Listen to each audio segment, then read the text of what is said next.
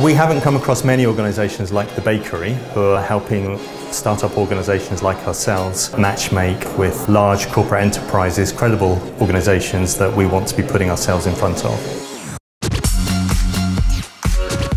The Inspiration Day that we've run here at the bakery with the City of London Corporation was all about educating big city institutions about what they can get from collaborating with the startup ecosystem. What we needed in running this Inspiration Day was an organisation that had the experience of bringing together the big and the small. The bakery are ideally placed to do that. All of the corporates will have a pain point and often there'll be a number of providers or startups or who actually have those solutions to the pain points. I think today was reminding myself why I do really like engaging with the kind of startup culture and I think that's important to kind of stay close to.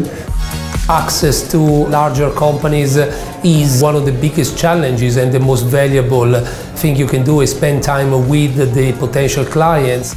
Because you go from doing your pitch straight to doing speed dating with the people from the corporates, you can actually test how well your pitch has been absorbed.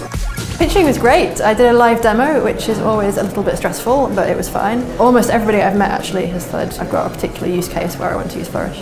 That people felt they had a great opportunity to really understand what we were about in a very informal setting. It's nigh impossible to get about 20 to 50 companies like these into one room. Be able to do that in one fell swoop where you have that validation, that scale of companies in a room is, is unprecedented. If you'd like to find out more about how the bakery can really help you uh, scale transformation in your environment, get in touch or perhaps come along to the next Inspiration Day. I look forward to seeing you there.